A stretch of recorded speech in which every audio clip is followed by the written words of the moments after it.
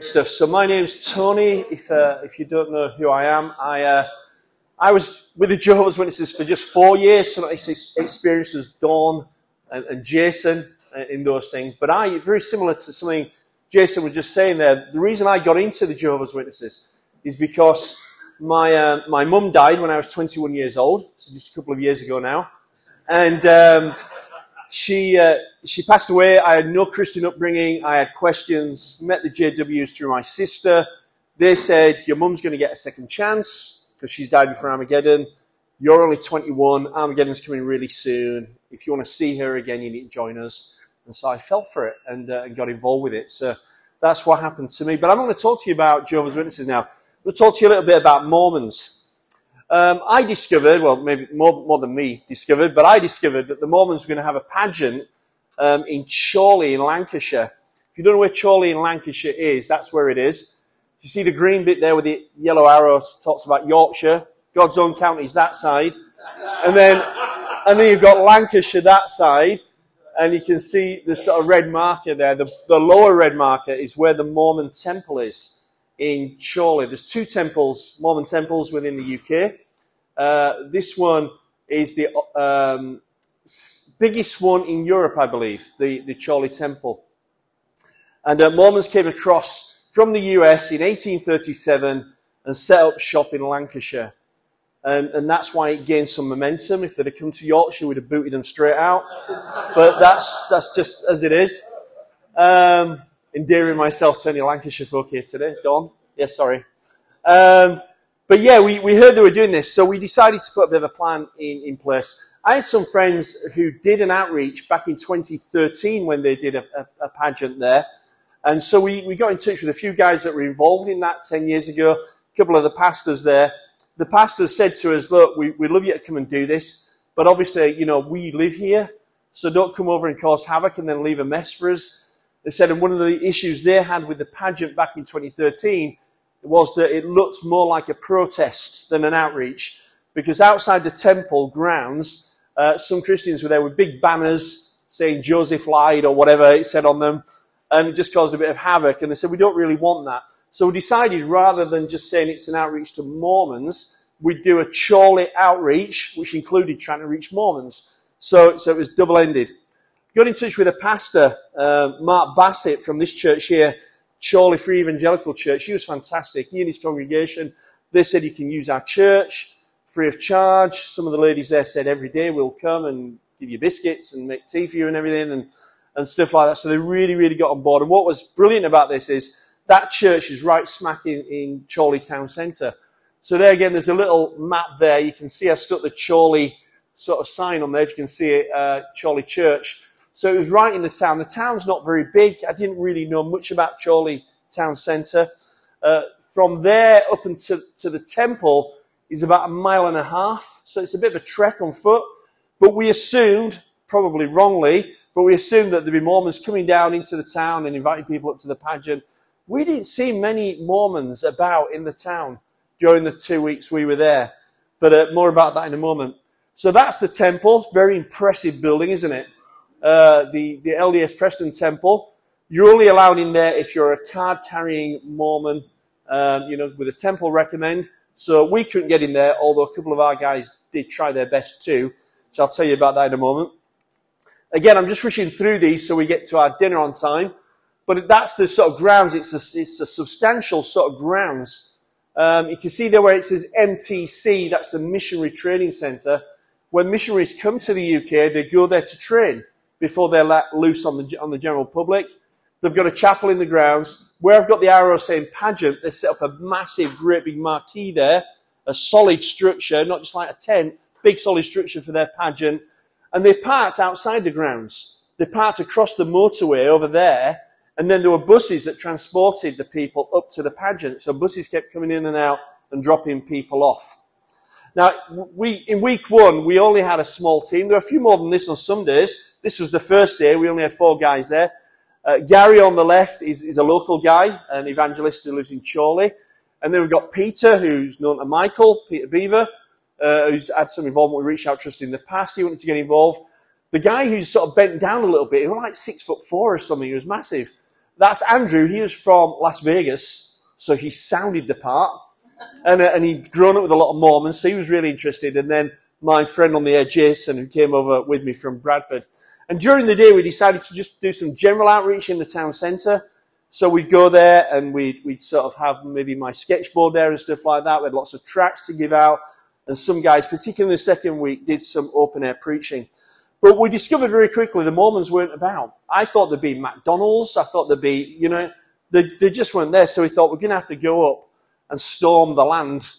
And so we, uh, we went up to, uh, to the temple area. Now we're not supposed to evangelize on the temple grounds. We can freely walk around there but we went and evangelized in the temple grounds uh, very sneakily. And um, we went up, not in large numbers in the first week. We didn't have many of us anywhere. But one of the interesting things, Gary, the guy on the on the picture before there, who's a local evangelist, he was a little bit anxious. He said, "Tony, I'm a little bit worried. Some of these guys might know me, that you know, because I'm obviously I'm a local guy, and he was a bit worried." So as we're walking up towards where the chapel is in the grounds, um, somebody shouted, but they didn't shout Gary; they shouted Tony. And I'm like, who's this? And it was this guy on the left here, Elder Reeves. I'd previously met him a few months ago. I do some training on, on new religious movements at Capernwray Bible School. And he, along with three other Mormon missionaries, came and had lunch at the Bible school while I was there. And I gave this guy a really hard time while we were there because when they were just talking to the students, they sounded like they were just Christians. They agreed with everything that was said you know, and, and, these students are looking confused. So I, I had to play bad cop and press, particularly Elder Reeves, because he seemed to be the, the leader, and forced him to say what they really believe so these students could see the differences. But he shouted my name. Tony came running up to me like a long lost brother and everything. I was really confused. This Mormon's really confusing. And um, so we had a good chat with him. We separated those two out, and I think some people had a chat with Elder Reeves, and he apparently spoke a little bit about me. He said, Tony were a bit hard on me, but but I think he's a good guy, you know. And then Elder Topola there, he was from Finland, so I, I had a good chat with him. Uh, when we got up there, we were greeted by this uh, bagpipe playing. I don't know if you can, well, that's playing, but you can't hear it, but you don't need to. It wasn't that good. Um, but yeah, there were bagpipes playing and everything, and we sort of went up into the grounds. There were people who were performing in the pageant. The pageant itself is a grand performance they rehearse it for, for a year at least, or well, more than a year for this one because they cancelled it. It should have been last year. And they rehearse Mormonism coming to the UK. And then they present that in this pageant with music and acting and stuff. And um, there were some of the actors there. We had a chat with some of those guys. Now, you need a ticket to get into the pageant itself. But there's an area before you go to the pageant area where they had a country fair.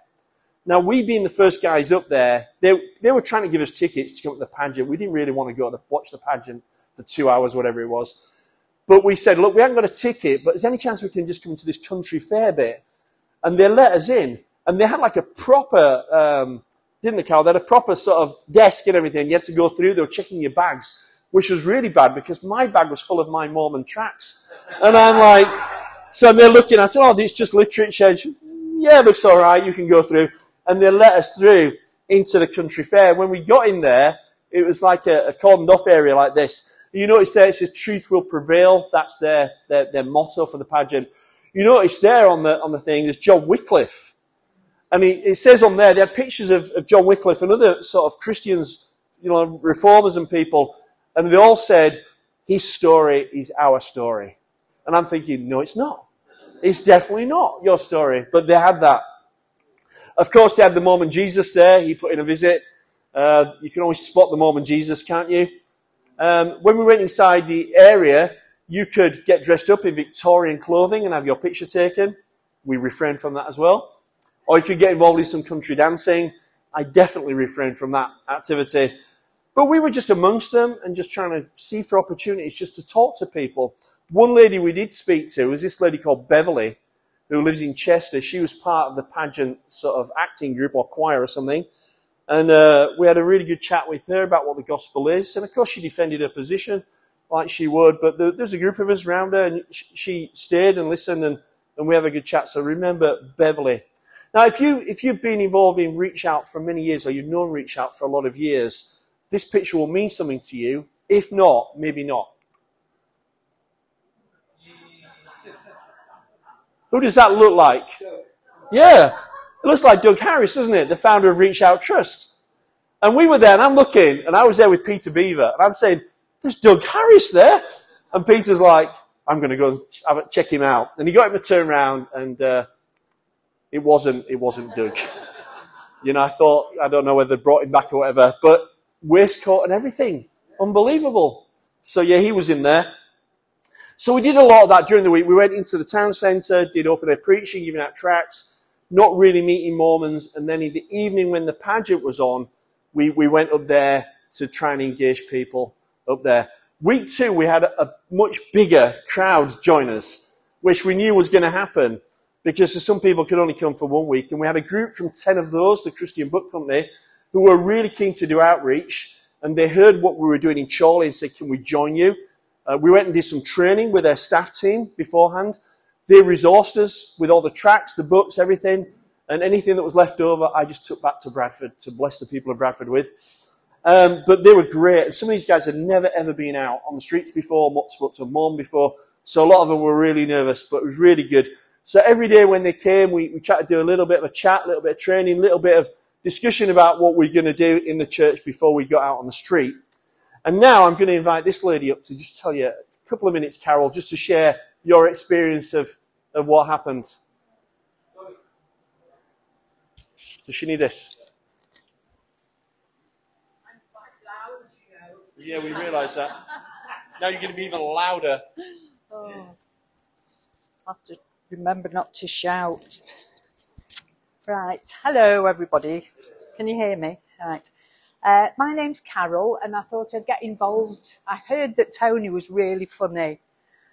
Uh, then I met him. Um, so he was. Uh, do, he invited my pastor down to the Mormon uh, pageant outreach, and I decided to tag along. And um, it was very interesting and very eye opening um, because um, it appeared to me that the Mormons believed lots of different things.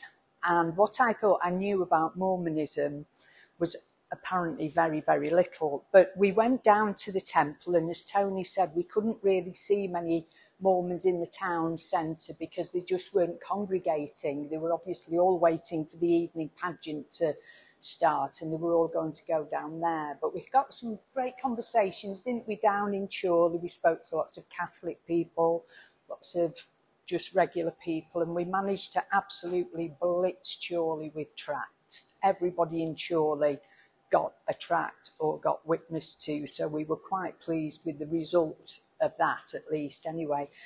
So we went down to um, we went down to the um, the temple site and we just walked around and we tried not to look too uh, conspicuous. Um, and we just spoke to people that were there. And um, my approach was uh, just asking people if they were Mormons, and there were a very good chance of them being Mormons. And I just said, Well, I'm not a Mormon, I'm a Christian, and we just wanted to sort of we're down here just asking about what you believe and what, what your faith is and your view on salvation. And they were quite happy to talk because they're evangelistic and they want people to become Mormons. So they were quite happy to talk to us. And it appeared to me that um, they're very busy doing things and it's a a lot about works and getting baptized for ancestors who've died. So they're always looking up people that they're related to from the past.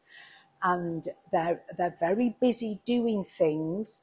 Um, and I think this is what Satan does. He keeps you very busy so you're not actually doing what God wants you to do.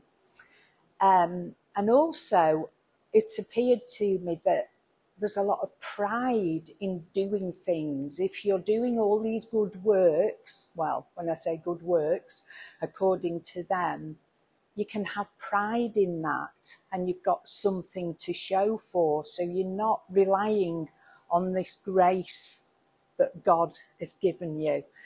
Um, and even though um, this particular lady I spoke to, I said, but you know, the Bible actually said it's appointed once for men to die and then the judgment. And she seemed to sort of look at me as if she'd never ever heard that.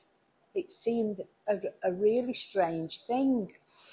Um, and I talked to her about the way of salvation. I let her talk to me about what the Mormons believed about salvation, and then I explained the gospel to her. And it seemed to me that she didn't love the truth enough to want to accept it. She was happy with what she got. And it seemed to me that they, they seemed happy with what they'd got. It was like a little routine thing that they'd got going. Um, and they were comfortable with what they'd got. And they weren't interested, they didn't love the truth.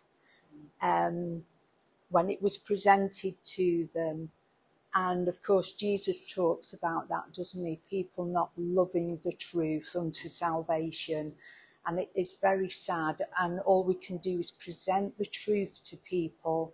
And if that's what they want and that's what they're seeking, they will take hold of it. Um, and it was a very interesting experience, and I wouldn't have missed it for the world. And I think it is so important that we just keep presenting the truth to people, whether they're in cults, whether they're at work, whether they're neighbours, whether they're in shops, whether they're on the street, whoever they are. We're called to just keep presenting the truth to them. And if they come to the door to us like the Jehovah's or the Mormons, then great. They're actually coming to us. We don't have to go out and seek them out. But yeah, it was it was great, and it's very sad that these people are trapped, and they think they're following the way, and they need us to to go out and tell them the truth. Thanks, Carol. So, really okay. good. yes. Thank you. Yeah, thanks, Carol. Carol was a real blessing, along with the pastor from her church, Paul, who'd done it in 2013. Uh, so we invited him back up and he wanted to get involved. So we had lots of interaction up there. We, we went back down into the town then and did lots of stuff in the, in the city centre. There's her pastor there in the nicely coloured shirt, uh, preaching the gospel in the open air. Lots of conversations had, lots of literature given out. Uh, ten of those guys so enthused saying we need to do something next year as well. Um, it may be the best time to actually go and speak to Mormons in Chorley is when there's not a pageant on. Uh, maybe that's that's the answer. Maybe they're all too busy up there, um, and the the church would love to have us back as well. So we've got some guys there preaching the gospel outside Greggs and stuff. You can't hear that, but you don't need to. Let me just tell you very quickly in finishing. Um, we, as the week went on, as the second week went on, we got a little bit bolder. And, and I was, I, I didn't want to, we didn't want to show our hand too quickly. We don't want to be deceptive. You know, we said we were Christians when we went up there. We were engaging and discussing. But we thought if we just go en masse and just like go crazy, we're not going to get on anymore. So we need to keep going up and maybe different nights, different people could go up and that's what we ended up doing. But on the, on the Friday, the final Friday, the 10 of those guys said, we'd love to go up. We've never been to the temple. We've never seen it.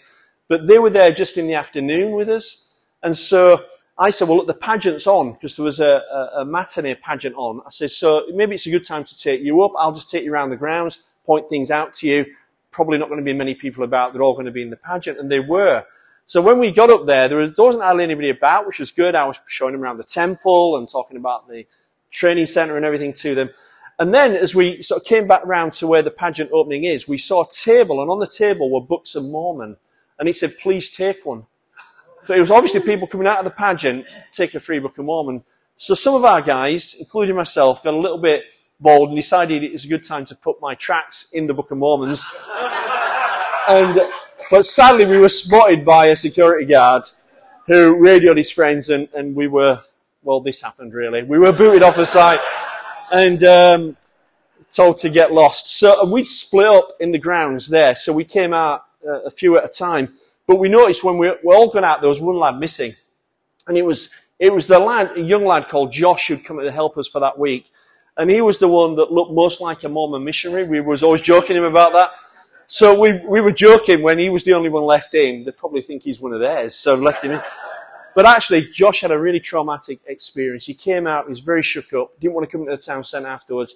I took him home, met him for a bite to eat afterwards, and he said he just felt real spiritual warfare up there. It really shook him. And he said, I was talking to a Mormon, an older Mormon missionary couple who, when Josh was asked to leave, this couple said to the security guard, leave him alone. He's only talking to us. And the, and the guard went off, but then somebody in authority came along and said, the presidency says he's got to leave. And so they, they felt a bit sad, but he felt sad for them and he was conflicted and he, he had a hard time. He, he realized it was spiritual warfare. Now, very quickly, we went back down into the town centre then realizing we can't go up to the temple anymore. That is done. But it was right at the end anyway. Uh, and then, would you believe, that afternoon we saw Mormon missionaries in, in the town centre. So we, you, there's my friend Jason having a chat with them. I took the picture. I was chatting alongside him there. But just finally, um, this family, um, an Indian family, came up to the book table and um, I, did, I, I wasn't there, uh, but one of ten of those guys came over and got me and said, this family, they're Mormons. Come and have a chat with them. So I went over, had a chat with them. Durga, who's the husband there, um, I was chatting to him and sharing the gospel with him, and, and he said to me, really funny, he said, you remind me of someone that I've been watching, I saw on God TV. I've been watching on God TV. I thought, oh no, Benny Hinn. I thought, no, it's a nightmare. And he said, no, no, what's his name? What's his name? He said, uh, Billy, Billy. I said, Billy Graham. He says, yeah. I thought, that'll do. That's, that's all right. I'll have that. But what he said to me, he says, I'm really interested in what you're saying. Do you do home visits? And the pastor has been to visit since their, their home in Chorley. And the wife said, I'm going to bring the kids down to, uh, to the church, to the parent and toddlers group. Pray for them. I, I, I don't think they've been yet. And he's, Mark's going to visit them. I had a chat with them again this week. But it was really interesting in what we were saying. So that's Durga, Margaret, the little boy's called Jeffrey, little kid, I have no idea. But remember Durga and family. Shall I just pray? Or do you want to say something very quickly? I, I want to say something. I was there at the open house when it was being opened to the public. Yeah? Before it was dedicated. Yeah, yeah. And who should be there but Mike Thomas? And I'll never forget Mike Thomas bringing out of his pocket a beer mat which he got from the local pub, which had on it the green all with these angel with the. Uh, Really? uh, uh, it looks like the angel's trumpet. All right, yeah. The angel crow. Really? Michael Thomas, do you remember that? was very amusing at the time. Michael said, You know, guilty in as charged. performance, I always compliment them and say, you know, there's only two things that would stop me joining your religion, and they're curious to Mm. that. And I say, and they ask me, what are they? And I say, what you teach about God and what you teach about men. Mm. And that, that often brings a good Yeah? conversation. But the sad thing is, in Chorley, they've got a Christian bookshop, and there wasn't one book on Mormonism in there. Hmm. Yeah. that's changed. Yeah. There, there is the LDS bookshop in, um, in, in, in Chorley as well, which we went into. And they had some well dodgy books in there. All their stuff, and then some really dodgy books. But I can talk to you about that over lunch. Let me just pray quickly, and then we'll go for lunch. Father, we just thank you for the opportunity to just speak to people about the gospel. And we do pray for Durga and his family. Um, we pray for, for all the, the guys we spoke to at that pageant. Lord, we know sometimes we seem like we don't get much response, but as we've heard already, we don't know what's going on in people's hearts and minds and lives. Father, I pray those that took tracts, took literature, you will convict them of their need to come to the Lord Jesus. Now bless us now as we go for our lunch and just help us to continue to have a wonderful day together as we share in fellowship. In Jesus' name. Amen. Thank you. Yeah, three o'clock.